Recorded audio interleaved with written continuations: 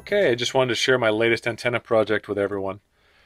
I wanted to build a, a quarter wave vertical, uh, mostly for 40 meters. I was going to use it for parks on the air. Uh, I wanted it to be, you know, relatively quick to uh, to put up and take down. I didn't find anything that fit that bill.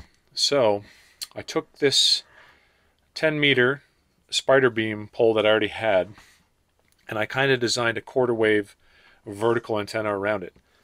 Here's what I came up with. I had some parts made by, uh, produced by a water jet company. These are all cut out with water jet. Um, and it was relatively cheap, truthfully. They, they, were, they had a design program that I entered all the information in.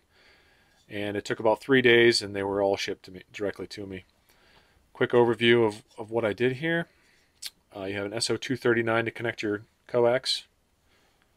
The center of the coax connector is going to go to the top ring, which is going to be all your antenna connections. So we have four on this one.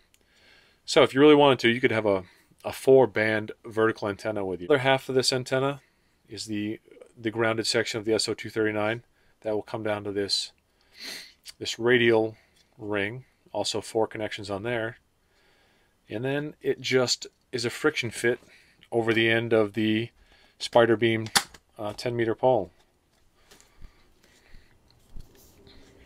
This should be relatively quick to uh, to put up and take down. Um, if this is a, if this is something that interests you, if you want to build something similar, um, I had extra parts made, and I'll put down in the description uh, where I'll have those available. It'll only be the the metal rings and the SO239 little connector here. But the rest of this stuff is all stuff that's available from a hardware store. So these little spacers, these are one inch nylon spacers and I just used one quarter, uh, they're one quarter inch variety and those are all held on with uh, number eight metal screws. And then all the wire connectors are just 632 screws with little wing nuts on the end.